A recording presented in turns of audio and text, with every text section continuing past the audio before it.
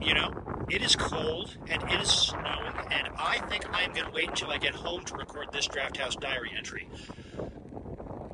Though it would be kind of appropriate because this is a Drafthouse Diary for Sunday, March 24th, when I went out here to the Alamo Drafthouse at Wilson's Aspen Grove to see Ghostbusters Frozen Empire. All right, this is better. It's definitely warmer. So let's get on with it. Ghostbusters Frozen Empire. My brief review the best Ghostbusters movie since the original in 1984. Now, that's a lot, I know. So let me walk you through how I feel about the other movies in this franchise. Ghostbusters, the original 1984 movie, one of the best American movies ever made. Not the greatest, not the most important, but one of the best just in terms of movie making and constructing a movie. Ghostbusters knew how to tell a story. It had a straightforward story, it had engaging characters, it had this wonderful gloss of academic insight over the entire thing, forbidden knowledge, all the kind of stuff that would absolutely lure me in. Ghostbusters was the first movie that I went back to time after time after time to see it when it was in movie theaters to just analyze how it was put together in terms of its storytelling and how it was structured and how it used the differences among the characters to drive key points in the story. It was a fascinating thing to study, it still is, but on top of that, it is simply a fun movie. Not many movies that are just more fun to watch. Then, Ghostbusters 2 in 1989. That was one of the biggest disappointments I've ever encountered in a movie theater. There were so many of the same people involved, and yet it seemed as if they had completely lost track or never really understood in the first place what had made Ghostbusters work so well. And they undermined so much of what was done. Some of the characters that they created and turned into real important parts of the story, including supporting characters like Janine Melnitz they just turned them into cartoons that had no connection and no relation to what had been established about the characters in the past. But more important, as far as the overall story, it was one of those 80s sequels that didn't know how to be a sequel. They had told a story in Ghostbusters about underdogs trying something crazy but that they believed in, and in the end, they triumphed. And there was this note of triumph at the end of Ghostbusters 1984. And in 1989, it was as if they decided, well, we've got to tell the same story again, so we have to somehow make them underdogs again. Whereas good writing, clever storytelling could have taken them from that note of triumph and said, all right, what's next? What is going to challenge our heroes now that they have proven themselves? Very few 80s sequels were able to do that. There were so many movies that just erased what came before in order to tell the same story again in a sequel. That's what Ghostbusters 2 did. It tried to tell the same story, a few new set pieces, uh, but it told the same story badly. Then, Ghostbusters 2016, this reboot. I wanted to like that movie so much. There were so many talented people involved in making that and yet it it didn't come together. There were some good scenes, there was some good humor, but the whole movie, there seemed to be a kind of a flat sameness in the writing and the characterizations. There were times when they were on top of their game, but the other 90% of the movie, they seemed to be going through motions.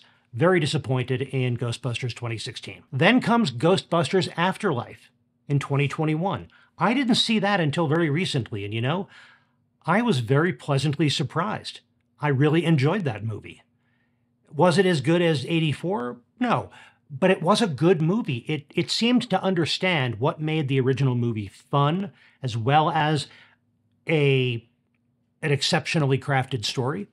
And it introduced new characters that fit with the tone of the Ghostbusters universe. It gave us glimpses of other characters and it brought us back to some of that nostalgia. It didn't dwell on that nostalgia too much, but it had enough to make us really feel as if this is a continuation of that world that we knew and loved from all those years ago. And now, Ghostbusters Frozen Empire. I think this takes what was good about Ghostbusters Afterlife and it adds to it more of the feel of the original Ghostbusters. And it mostly does that because of its New York location.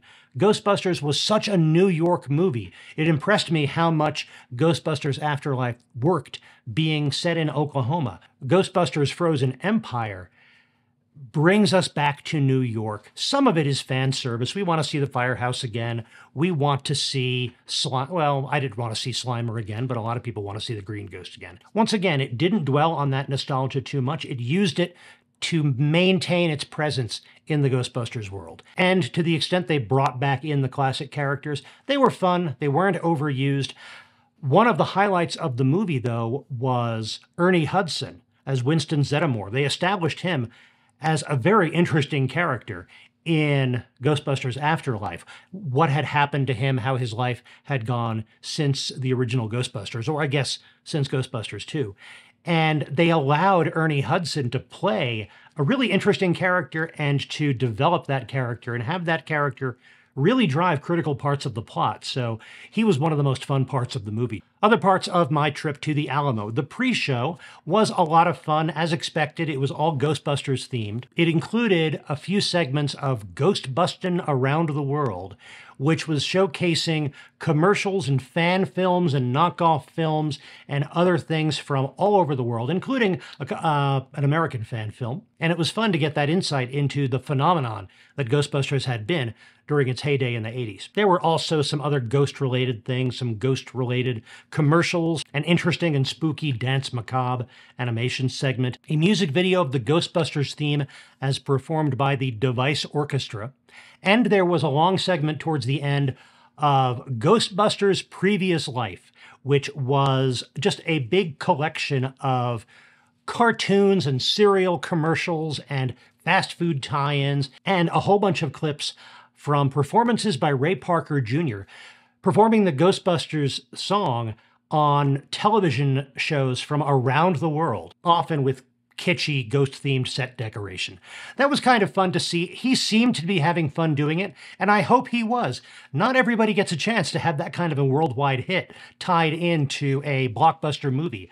I hope he uh, kept going with that for as long as it stayed fun and that he made a zillion dollars with it. For dinner, I had the grilled chicken club. I've had that before and it's always very good. It's a little heavier than you would think a grilled chicken sandwich would be because it's got avocado and bacon and cheese and a lot of other things. But it's not overloaded, so it turns out very good. As for the theater, the staff was very friendly. Seating at Littleton is usually very comfortable. One issue, though, was once again we were late being allowed into the theater. So we missed maybe the first five minutes or so of that pre show. Littleton Aspen Grove had gotten better at that, but in recent weeks, there have been a few screenings where, for whatever reason, maybe they're not staggering the screenings and the cleaning schedule quite right. There have been delays in getting us into the theater. But I did have a great time. I really enjoyed the movie, and this was a fun visit to the Alamo. I hope you enjoyed this Drafthouse Diary. If you did, please click that like button. And if you want to know about more Drafthouse Diaries, click the subscribe button. I'll be back with more soon. In the meantime, enjoy your movies. And when you do, stay till the end of the credits.